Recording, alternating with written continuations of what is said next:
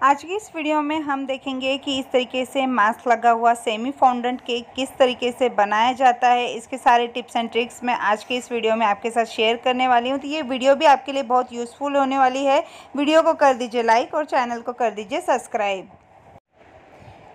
अब हम यहाँ पे फेस पे मास्क लगा हुआ है। इस तरीके का एक सेमी फाउंडेंट केक देख रहे हैं। उसके लिए मैंने यहाँ पे एक केक सेवन इंचेस के केक टिन में बेक करके ऑलरेडी क्रीम से फिनिशिंग करके फ्रिज में रखा है। कभी भी केक को आपको पहले फिनिशिंग करके फ्रिज में रखना है ताकि वो सेट हो जाएगा, तब तक हम यहाँ पे फॉन्डेंट का डेकोरेशन करेंगे। तो यहाँ पे मास्क बनाने के लिए मैंने यहाँ पे स्काई कलर का फॉन्डेंट लिया है और थोड़ा सा फॉन्डेंट मैं इसमें से निकाल लूँगी और जितना चाहिए उतना मैं पास में रखूँगी। बाकी का फॉन्डेंट फिर से हम कवर करके रख देंगे ताकि ये ड्राई ना हो। एक्स्ट्रा का फॉन्डेंट मैं यहाँ पे क्लीन रैप में रैप करके प्रॉपर डिब्बे में रख दूँगी। एंड जितना मुझे चाहिए, उतना मैंने यहाँ पे निकाल लिया है। अभी स्काई फाउंडेंट को मैं हाथों से अच्छे से मसलने वाली हूँ ताकि ये अच्छे से मिक्स हो जाए और हाथों की गर्मी से इसके अंदर जो बटर या जो भी ऑयल फैक्टर होता है वो रिलीज़ होता है और इसकी स्मूथनेस बढ़ती है, शाइनिंग बढ़ती है। इसलिए इसे हाथों से एकदम अच्छे से मसलना है, मिक्स करना है। और इस तरीके से मिक्स करने के बाद में अब मैं इसे रेक्टेंगल शेप में रोल करने वाली हूँ, यानी कि रेक्टेंगल शेप में बेल लूँगी। और फिर बाद में इस इसे प्रॉपर शेप में हम कट करने वाले हैं। तो मैं यहाँ पे ले रही हूँ सिंपल प्लास्टिक का बेलन। आप कोई भी बेलन ले सकते हो, अगर आपका फाउंडर नीचे चिपक रहा है या प्रॉपर आप बेल नहीं पा रहे हो तो इसको थोड़ा सा कॉर्नफ्लोर या आइसिंग शुगर आप लगा के बेल सकते हो। मैंने यहाँ पे आइसिंग शुगर या कॉर्नफ्लोर किसी भी चीज़ का इस्तेमाल नहीं किया है। मैं इसे सिलिकॉन मैट पे बेल रही हूँ और फॉन्डेंट जो है प्रॉपर कंसिस्टेंसी पे है तो ये चिपक नहीं रहा है तो ज़रूरत नहीं है। इसलिए मैंने यहाँ पे इन दोनों में से भी किसी भी चीज़ का इस्तेमाल नहीं किया है। जिस साइज़ का हमें केक बनाना है, वो टिन हमेशा अपने पास रखें और उसके ऊपर ये फॉन्डेंट रख, उसके साइज़ का ही हमें बनाना होता है। तो उस टिन पे मैं ये रेक्टेंगल शेप रख के देखूँगी क्योंकि मुझे फेस पे कवर होना चाहिए, इतना रेक्टेंगल शेप कट करना है। तो मैंने यहाँ पे फॉन्डेंट को रोल कर लिया है और अब इस टीन के साइज़ के हिसाब से मैं इसे कट कर लूँगी। कटिंग करने के लिए मैं यहाँ पे स्टील की स्केल का इस्तेमाल कर रही हूँ ताकि मैं प्रॉपर जो है स्ट्रेट लाइन कट कर सकूँ। और मैं यहाँ पे एग्जैक्टो नाइफ यानी कि जिसे पेन कटर भी कहते हैं इसका इस्तेमाल कर रही हूँ। आपके पास अगर ये नहीं है तो आप पिज़्ज़ा कटर या सिंपल आ, किसी भी नाइफ़ का इस्तेमाल कर सकते हो यहाँ पे इसे कट करने के लिए। अब यहाँ पे मैंने दोनों साइड से ऊपर से और नीचे से इसे कट कर दिया है। अब इसे मैं साइड से भी कट कर लूँगी और प्रॉपर रेक्टेंगल शेप का इसे बना लूँगी ताकि ये थोड़ा मास्क की तरह दिखे। सिलिकॉन मैट पे हमें एकदम हल्के से किसी भी नाइफ़ का इस्तेमाल करना होता है। बहुत ज़्यादा ज़ोर से प्रेशर देके हम नहीं कर सकते अदरवाइज़ सिलिकॉन मैट फट जाती है। तो कई बार हल्के से प्रेशर देने से फॉन्डेंट प्रॉपर कट नहीं होता है तो इसे दोबारा फिर से अच्छे से कट कर ले और प्रॉपर शेप में बना ले। तो मैं यहाँ पर इसे प्रॉपर रेक्टेंगल शेप में कट कर रही हूँ और ये आलमोस्ट रेक्टेंगल शेप में कट होकर रेडी है। अब मैं इसे ऊपर जो है स्ट्रिप्स होती है हमारे मास्क के ऊपर तो वो स्ट्रिप्स मैं यहाँ पे बना लूँगी। यहाँ पे हमें कम से कम तीन स्ट्रिप यहाँ पे लगने वाली है। कुछ इस तरीके से स्ट्रिप मैं यहाँ पे लगाने वाली हूँ कट करके। तो अब वो स्ट्रिप्स हम बना लेंगे। अब अगेन मैंने यहाँ पे ब्लू कलर का फॉन्डेंट ले लिया है, उसे मैं अच्छे से बेल लूँगी और लंबा कर लूँगी ताकि उसकी जो विर्थ है, यानी कि उसकी जो चौड़ाई है, हमारे मास्क की जितनी चौड़ाई जितनी होनी चाहिए ताकि उतनी लंबी हम स्ट्रिप्स यहाँ पे कट कर सकें। तो यहाँ पे मैं इसे एक बार मैंने मास्क के ऊपर रख के देख लिया कि उतनी लंबी है या नहीं है। नहीं है तो मैं इसे अभी फिर से थोड़ा सा और ज़्यादा बेल रही हूँ ताकि ये उतनी लंबी हो जाए और मैं उसकी उतनी लंबी वाली स्ट्रिप्स कट कर सकूँ। अब यहाँ पे मैंने इसे प्रॉपरली रोल कर लिया है और अब मैं इसकी स्ट्रिप्स कट करने वाली हूँ। तो यहाँ पे मैंने फॉन्डेंट को रोल करने के बाद में स्टील की स्केल ली है। इससे मैं दो से तीन या जितनी इसमें स्ट्रिप्स बनेंगी, पहले उतनी कट कर लूँगी। फिर हम मास्क के ऊपर रख के देखेंगे कि हमें तीन या चार स्ट्रिप कितनी इसमें हम एडजस्ट कर सकते हैं। तो इस तरीके से स्केल की हेल्प से मैं यहाँ पर एकदम स्ट्रेट जो है कटिंग कर रही हूँ और स्ट्रिप्स बना रही हूँ। अब इस रोल किए हुए फॉन्डेंट में जितनी स्ट्रिप्स बन जाएगी, उतनी स्ट्रिप्स मैं यहाँ पे बना लूँगी। और फिर हम देखेंगे कि मास्क के ऊपर तीन, चार कितनी स्ट्रिप्स एडजस्ट होती है, उस हिसाब से हम इसके ऊपर जो स्ट्रिप्स अच्छी लग रही हैं, एकदम प्रॉपर कटिंग हुई है, उनका हम यहाँ पर इस्तेमाल करने वाले हैं। स्ट्रिप्स तो यहाँ पे कट होके रेडी है। अब हमने जो रेक्टेंगल शेप का मास्क कटिंग किया था, वो मास्क ले लेंगे और उसकी विर्थ देखेंगे। मैं यानी कि जितना लंबा हमारा मास्क है, उतनी लंबी हमारी स्ट्रिप्स होनी चाहिए। तो उस हिसाब से यहाँ पे मैं स्ट्रिप्स प्लेस करके देखूँगी कि कितनी स्ट्रिप्स इसमें एडजस्ट हो रही है, क्योंकि इसमें सेम गैप होना चाहिए। तो यहाँ पे हमें तीन ही स्ट्रिप्स लग रही है।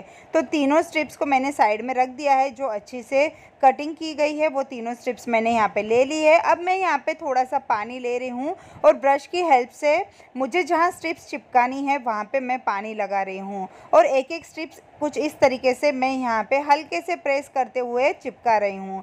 सेम इसी तरीके से हर एक स्ट्रिप को हमें चिपकाना है। इनके बीच में ध्यान रहे कि गैप जो है, सेम गैप रहे।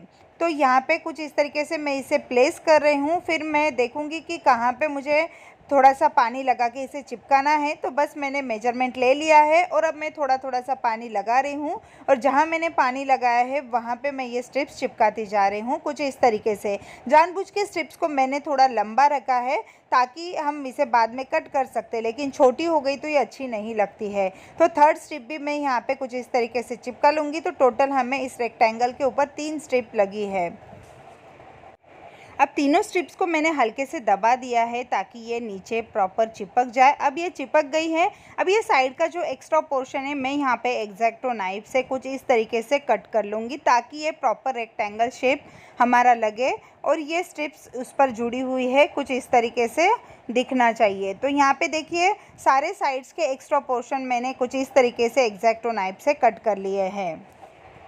जो हम फेस मास्क लगाते हैं, अगर आपने गौर से देखा होगा तो ये जो प्लिट्स होती है, इसको एक स्टिचिंग लाइन साइड से दिखती है कि ये स्टिच करके जुड़ाई हुई गई है, कुछ ऐसा दिखाया जाता है। तो इसके लिए मेरे पास यहाँ पे कुछ इस तरीके का टूल है, उसका मैं इस्तेमाल कर रही हूँ और हल्के हल्के से उसे प्रेस करते हुए लाइनिंग्स दिखा रही हूँ, यानी कि ये स्टिच की हुई नज़र आए। स्टिच करके हमने इसे ज्वाइन किया है कुछ इस तरीके से इफ़ेक्ट देने के लिए। मैं इस टूल का इस्तेमाल कर रही हूँ तो इस तरीके से कुछ डॉट डॉट इसके ऊपर बन जाएँगे। तो ऐसा लगेगा कि ये स्टिच की हुई है स्ट्रिप्स को। मैं इसे प्रेस करते हुए बना रही हूँ तो स्ट्रिप्स के ऊपर लाइनिंग्स तो आ रही है, लेकिन एक्स्ट्रा पोर्शन साइड में निकल चुका है। तो इसे भी हम एग्जैक्टो नाइफ से कट कर लेंगे और अगेन प्रॉपर रेक्टेंगल शेप का हम इसे बना लेंगे। इस तरीके से स्टिचिंग लाइन देने से इसका एकदम रियलिस्टिक लुक आएगा कि ये हाँ सच में स्टिच करके प्लेट्स लगाई गई है। तो यहाँ पे ये मास्क जो है रेडी हो चुका है। इसकी स्ट्रिप्स जो है साइड की, वो हम बाद में बनाएँगे। तो इस तरीके से मैं इसे थोड़ा सा ड्राई होने के लिए साइड में रख दूँगी। और अब मैंने यहाँ पे ब्लैक कलर का फॉन्डेंट लिया है। फेस पे ऊपर जो हेयर होते हैं, वो हेयर दिखाने के लिए यहाँ पे इस फॉन्डेंट का मैं इस्तेमाल कर रही हूँ। अब इसे मैं हाथों से एकदम अच्छे से मसल रही हूँ और मसलने के बाद में इसकी शाइन जो है थोड़ी सी बढ़ जाती है। और अब मैं इसे जो है लंबा रोल कर रही हूँ, कुछ इस तरीके से इसे मैं रोल कर लूँगी। पतला सा मैं यहाँ पे रोल कर रही हूँ इसे। रोल करने के बाद में जिस टीन के साइज़ का हमने केक बनाया है, वो टीन अगेन मैंने ले लिया है और उसके ऊपर इस तरीके से रख के मैं थोड़ा सा हाफ़ सर्कल सा बनाऊँगी, ताकि ये जो बाल है प्रॉपर थोड़े से हाफ़ सर्कल में लगे हुए मुझे दिखाने हैं ऊपर से। कि ऊपर से ये लगे हुए हैं और टी, हमारे केक का जो सर्कल शेप है वो भी आना चाहिए। इसलिए मैंने इस तरीके से इसे कट कर लिया है और अब मैं थोड़ा थोड़ा सा फाउंडन कट करके बालों का शेप इसका दिखाने वाली हूँ। तो ये प्रॉपर कट हुआ है या नहीं हुआ है, ये अगेन मैं टीन लूँगी और टीन के ऊपर रख के मैं इसे चेक करने वाली हूँ कि ये प्रॉपर कट हुआ है या नहीं हुआ है। तो देखिए, मैंने यहाँ पे टीन का अगेन मेज़रमेंट ले लिया है। तो ये टीन का थोड़ा सा जो है, बाहर की साइड में ये पोर्शन जा रहा है। तो अगेन मैं इसको थोड़ा सा कट कर लूँगी इसी के शेप में। या इस तरीके से देखिए फिर मैंने डब्बा जो है उसी फॉन्डेंट के ऊपर रख दिया है और अगेन उसे मैं थोड़ा सा छोटा कट कर रही हूँ। पहले जो कट किया था, वो हमने बड़ा कट किया था। इसी तरीके से मेज़रमेंट लेके आपको शेप्स बनाना होता है, ताकि जब हम इसे केक के ऊपर प्लेस करें तो ये प्रॉपर साइज़ में लगे और छोटे बड़े होने की वजह से अगर एक बार हम केक के ऊपर ये शेप्स प्लेस कर देते हैं तो हम इसे रिमूव नहीं कर पाते हैं, क्योंकि हम ये सेमी फॉन्डेंट केक बना रहे यानी कि केक के ऊपर हमारी क्रीम लगी हुई है और क्रीम के ऊपर अगर फॉन्डेंट प्लेस करते हैं तो फॉन्डेंट क्रीम को चिपक जाता है। अब ये प्रॉपर शेप में कट हो चुका है। अब मैं यहाँ पे हल्के हल्के से एग्जैक्टो नाइफ से थोड़ा थोड़ा सा ट्रायंगल शेप यहाँ बीच बीच में कट कर रही हूँ ताकि ये बालों की तरह लगे। कुछ ऐसे आपको भी कट कर लेना है। बीच बीच में आपको ऐसे ही ट्रायंगल शेप कट कर लेने हैं। छोटे बड़े ट्रायंगल शेप में यहाँ पे कट कर रही हूँ ताकि ये बालों की तरह लगे। जितना हमने ये ब्लैक पोर्शन कट किया है, उतनी सारी साइड्स में नीचे की ओर इस तरीके के कट हमें लगा लेने हैं। कुछ छोटे, कुछ बड़े, ताकि बाल जो है अनइवन होते। कोई छोटे, कुछ बड़े तो उसी तरीके से मैं यहाँ पे कट लगा रही हूँ और इन्हें बालों का इफ़ेक्ट दे रही हूँ थोड़ा सा। तो यहाँ पे मैंने आधे से ज़्यादा जो है बालों में इस तरीके से कट लगा लिए हैं। देखिए, कट लगाने के बाद में हल्का सा हमें एग्जैक्टो नाइफ से इनके बीच में गैप रेडी करना है, ताकि ये बाल जो है थोड़े से अलग अलग नज़र आए, एक दूसरे से चिपके हुए ना नज़र आए। इसलिए बीच बीच में इसे हमें इस तरीके से कट करना है और थोड़ा सा गैप इनके बीच में बनाना है। तो यहाँ पे बालों को कुछ इस तरीके से कट लगाते हुए पूरे बाल मैंने यहाँ पे रेडी कर लिए हैं। अब मास्क हमने बना लिया हेयर हमने बना लिए, अब हम आईज़ बनाने वाले हैं। उसके लिए अगेन मैंने ब्लैक फाउंडेंट लिया है और इसे मैं रोल कर लूँगी और यहाँ पे इसे मैं नोज़ल की हेल्प से आईज़ कट कर रही हूँ। तो यहाँ पे आपको चेक करना है कि छोटी आईज़ बड़ी आईज़ कौन सी अच्छी लग रही है तो उस तरीके से आप नोज़ल का इस्तेमाल कर सकते हो। तो यहाँ पे मैंने एक आइज़ बड़ी नोज़ल से कट कर ली है और एक आइज़ में छोटे नोज़ल से कट कर रही हूँ और दोनों भी मैं केक के टिन के ऊपर रख के प्लेस करके देखूँगी कि कौन सी आइज़ ज़्यादा अच्छी लग रही है। तो यहाँ पे मुझे छोटी आइज़ जो है वो प्रॉपर लग रही है। तो अगेन मैं और एक छोटी आइज़ यहाँ पर बना रही हूँ। तो ऐसे मैंने टोटल टू आइज़ यहाँ पर बना ली है।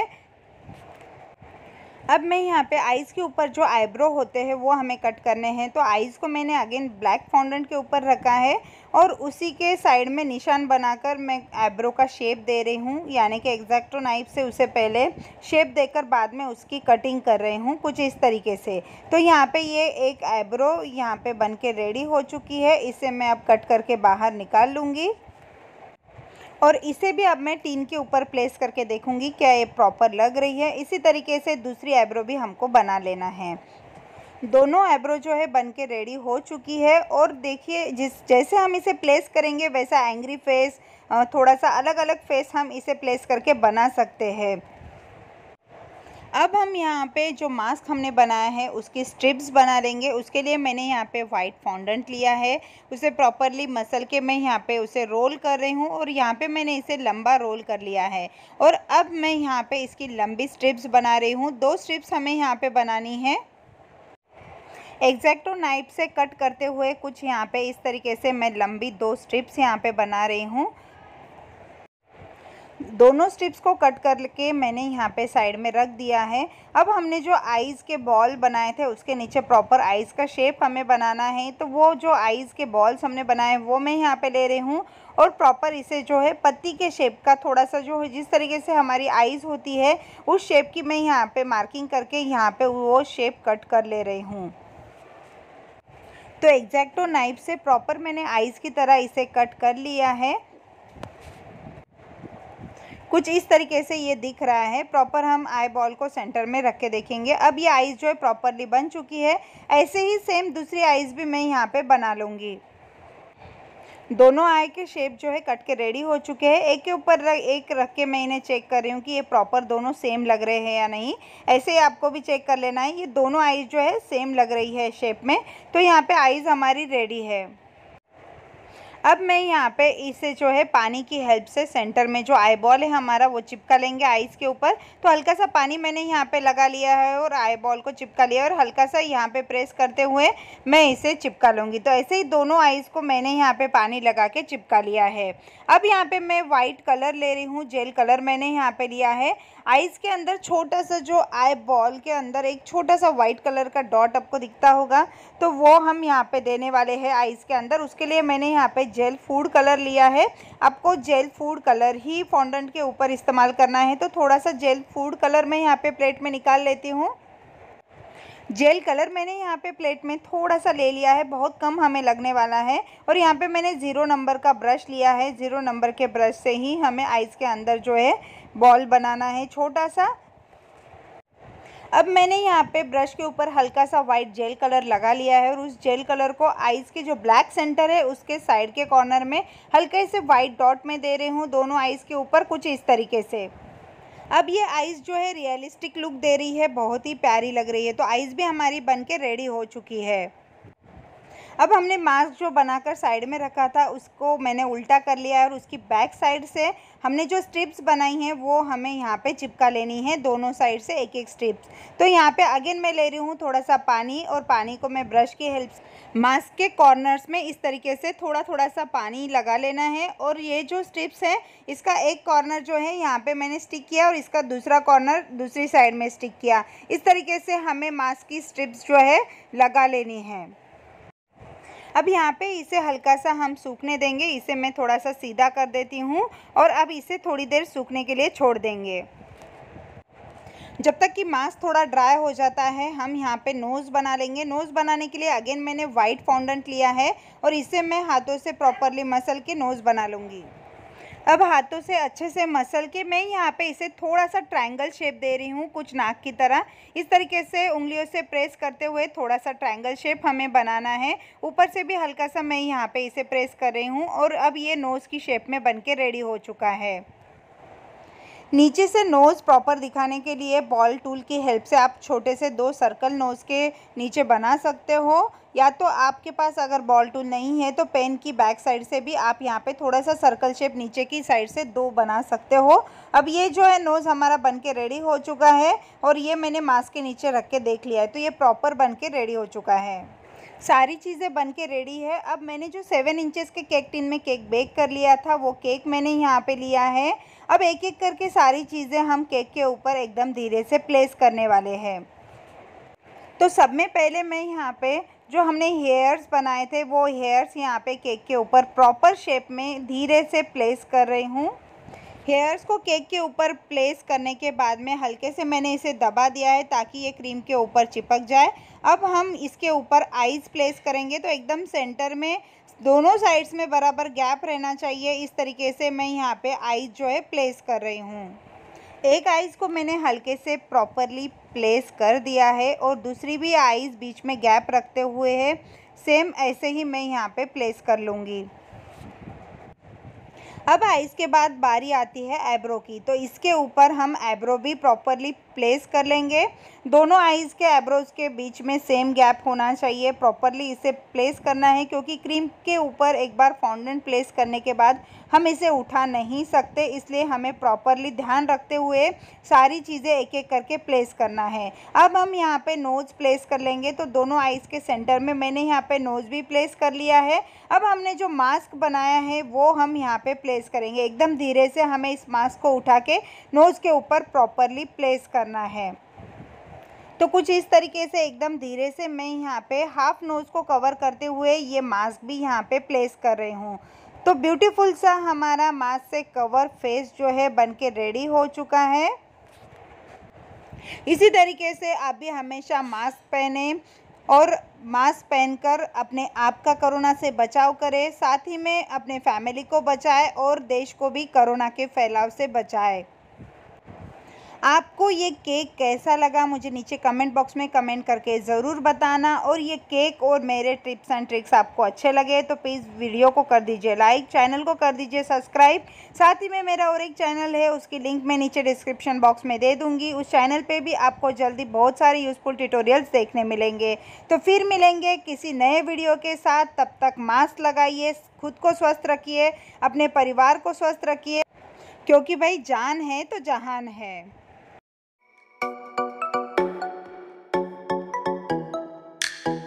Woo!